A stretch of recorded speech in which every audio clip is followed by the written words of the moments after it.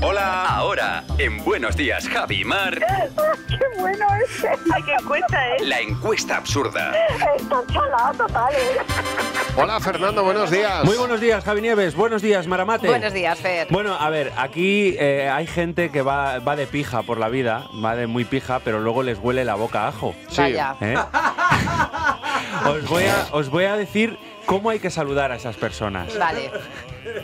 Pues es importante saberlo, de lejos, para empezar, seguro. ¿Te da, te da tablas? A ver, a ver qué trae la encuesta absurda.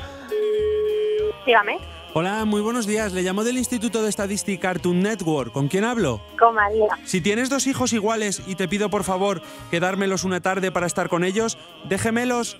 Yo se los regalo si quieres. Si un piragüista trabaja en una ONG, ¿le gusta arremar el hombro?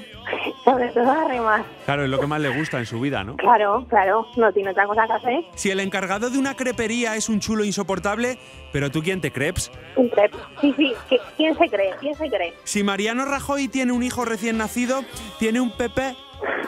No sé, pero el crío tiene, tiene un, un tanto de Pepe. Si tienes una amiga muy pija y le huele la boca a ajo, le saludas diciendo alioli. También.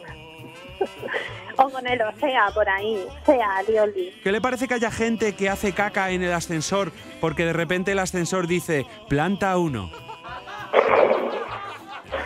Eso no, no, no me parece bien. No, hay que... Es un, es un espacio de todos y no puede ser todos a la vez ahí, todo el ascensor lleno, nada, nada.